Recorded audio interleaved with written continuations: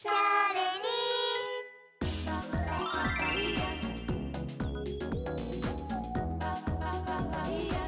エヴァ志保さんのモデル撮影したよ。おはようございます。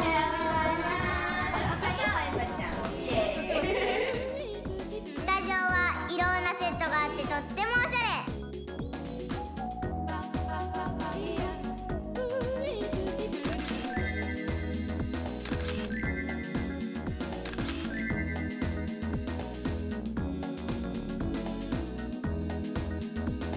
カメラマンさんとかしりとりしてくれたりクイズ出してくれたりして楽しかったです。スイカ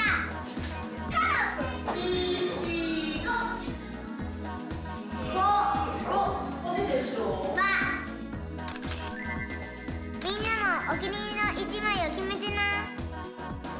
七五三は大切な記念日家族とみんなでお祝いして